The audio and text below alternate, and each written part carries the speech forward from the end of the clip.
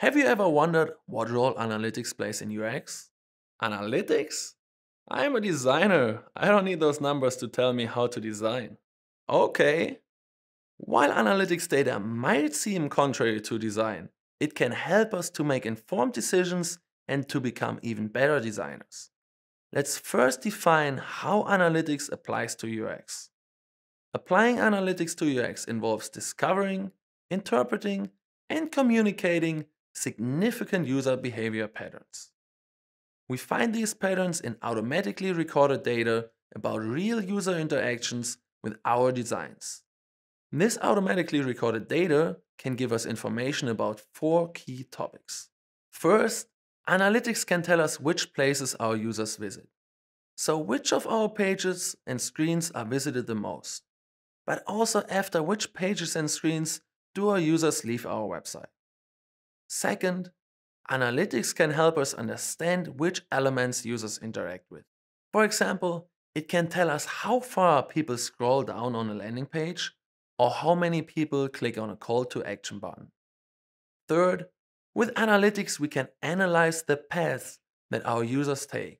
So where did they come from before they arrived at a certain page and where did they go afterwards? Maybe we discover that users don't take the path that we had in mind when we initially designed our product.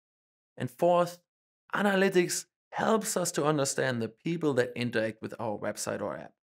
For example, we can learn about their demographics and see how different user groups behave differently. And we can track how this behavior changes over time.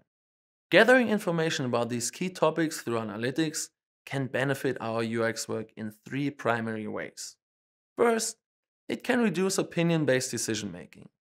Instead of endless debating about design details, we can use data to drive our design and make more objective decisions. Second, the insights from analytics help us to prioritize our projects. We can focus our attention and efforts on the projects that will have the biggest impact and most likely the highest reward. And third, analytics but specifically A-B testing or split testing allows us to experiment with our designs. We can test different designs and see which ones objectively performs the best. If you aren't using analytics for your UX work yet, it's worth looking into. Use it to create better informed and more user-focused designs. Thanks for watching.